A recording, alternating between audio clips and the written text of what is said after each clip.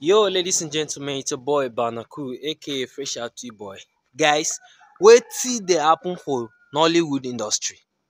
Eh? What is happening? What is really going on in Nollywood industry? Yes, just yesterday, a side news came in that Mr. Ibu leg has been cut off. Now, now, today, today, we dey see say another Nollywood star, Nati Nati Bros, is is reportedly dead. Wetin dey happen? Eh? What is really happening in this industry, this Nollywood? If there is any secret, you people should let us know because we don't understand what is happening. Eh? What is happening in Nollywood? What is happening in Nollywood? You guys should tell us. Yes, because this is this is this is getting out of hand.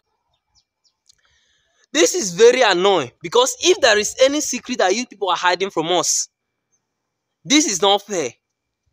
This is lives of people. People are just dying in Nollywood industry every day. If not died, this one is sick in the hospital, this one is paralyzed, this one is this, this one is that. We don't like this. It's high time you guys tell us what is going on, or else we'll not take it kindly with Nollywood. Yes, we want to know what is really happening. What did they happen Nollywood Eh? Now, now, this man is dead now. What did they happen? If there is anything, if there is any secret that you guys are hiding from us, let us know. If it is something spiritual or physical, so we can help you untie yourself.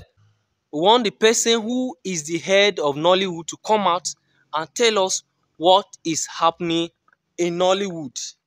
Yes, or else we'll not take it kindly with you people. We want to know what is happening. We are not happy losing legend, losing uh, uh, uh, uh, uh, superstars, losing legends. Please, we are not happy with this news at all. I'm not just happy right now. I'm happy. I'm sorry. I'm not just happy at all. Yes, I'm not happy. Why? Because we learn from these people. These are the people we are looking up to. We, the upcoming content creators, these are the people we are looking up to. But if we keep on losing them, what then is game? We are now starting to have fear that maybe the same thing will still happen to us. Please, guys, comment your opinion on this video. I don't know what to say. May his soul rest in peace.